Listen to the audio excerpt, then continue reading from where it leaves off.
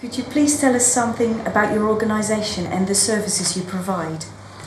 Fife Rape and Sexual Assault Centre came on board five years ago to respond and provide support to people in Fife who have suffered rape and sexual assault. We provide face-to-face -face emotional support, guidance through police and court procedures, um, assistance to access other services like health or gum clinics, and any other services the clients need to help access them, homelessness, women's aid, different things. According to Fife's Constabulary's policing plan, sexual crime figures are up 23% from the previous year. On the surface, this sounds really bad, but actually, it's good news. Can you tell us why? Um, hopefully, it's because more people are feeling more confident about coming forward and reporting. Um, I think now that the, the subject gets more spoken about when there's campaigns in Fife, there's been a local campaign just a few months back and then Rape Crisis campaign. Hopefully that allows people permission to come and talk about it and not keep it so hidden as what it always has been. Um, in general, reports of rape are up, but what about the actual conviction rates? In 2007, about 26 out of 908 reported cases led to convictions. That actually only comes down to 2.9% why is it only such a small percentage? It's very difficult to get convictions on sexual crime. Um, hopefully everybody is working together to try and improve this. The Procurator Fiscal have been reviewing um, how they prosecute sexual crimes and I believe by 2009 you'll have to be specially trained to prosecute. The police have also reviewed how they investigate. The one big difficulty is it's juries that usually decide in rape cases because it's the High Court and until we can change um, our communities view and judgments of rape and sexual assault, um, I don't think we're going to move forward. So we do have to get out there and educate our communities.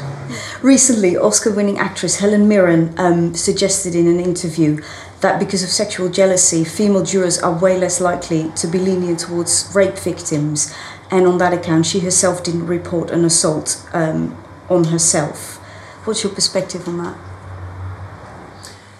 Again, I would say yes, we agree. We do find for the, the women that use our service here, they get a lot of criticism. If they do report or they do speak to family and friends for some reason, females seem to judge them worse than males. Um, we were out at schools last week speaking to youngsters um, and looking at some of their judgments or understanding and attitudes. And again, we were quite shocked by some of them saying that if a female flashes a, her nipple or if she isn't dressed properly, a short skirt, females more than males seem to believe that they deserve, the, the female seems to deserve to be raped if she's dressed a certain way. Rape Crisis Scotland launched their hard hitting campaign earlier this year and it featured some disturbing figures. Um, for instance, 27% of Scots believe that women who are revealingly dressed are partly responsible for their own rape. Similarly, a third believe that flirting is a contributing factor. How come these attitudes persist? I honestly don't know, and we find it hard to understand, but it is there and it's rife. It's just we've got to keep challenging. I don't know if people, to feel safe, would like to believe in these myths, because does it mean that if they don't dress in a certain way, they won't be raped? Um, unfortunately, in the five years we've worked here, I have never worked with any female who was raped because of the way she was dressed. What's your opinion about the Rape Crisis poster campaign and what kind of results are you expecting? Um, I think it'll cause a lot of debate. There is quite a lot of, and the minute you see some of them, you're like, oh. But hopefully, if it gets anybody talking, I feel that if we can get anybody talking in the community, so if it is a debate and getting them to look at it, at least it can maybe challenge their understandings. So, although it might shock some of them, at least it will get people to talk, and if we can get people to talk, that's the only way we can educate communities. Lastly, how can victims uh, of assault who need your help reach your centre? Um, they can contact us on our phone number is 01592 642 336.